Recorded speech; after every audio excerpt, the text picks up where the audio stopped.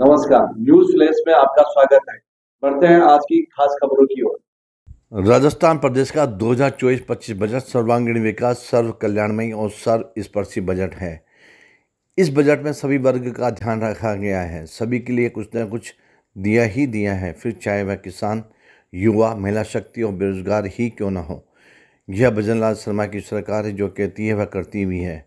सभी के हितकारी यह दो हज़ार बजट है, जो विकसित राजस्थान दो हज़ार सैंतालीस की संकल्पना को पूरा करते हुए प्रदेश के लिए बेहतरीन और ऐतिहासिक बजट होगा। विकसित और सशक्त राजस्थान के निर्माण में यह बजट मील का पत्थर साबित होगा। इसमें विकास के सभी पहलुओं को समाहित किया गया है, खासकर युवाओं के रोज़गार पर विशेष ध्यान रखा गया है।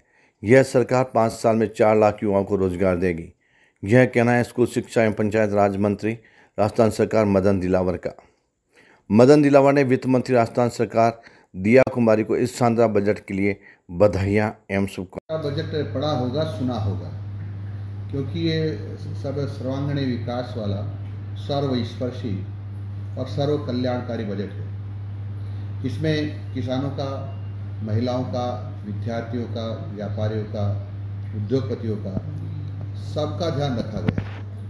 इसमें गरीब, अमीर सबका ध्यान रखा गया है, यानी सर्व स्पर्शी बजट है इसलिए कोई भी बात छूटी नहीं है, यानी किसी भी, किसी के भी कल्याण की बात छूटी नहीं है। पानी, बिजली, सड़क, रोज़गार। आपने देखा होगा, चार लाख लोगों को रोज़गार देंगे पाँच साल में। ये पहली बार होगा। कांग्रेस तो घोषणा की लेकिन कर नहीं पाई है, लेकिन ये भजन लाल जी शर्मा की सरकार है। जो कहती है वो करेगी।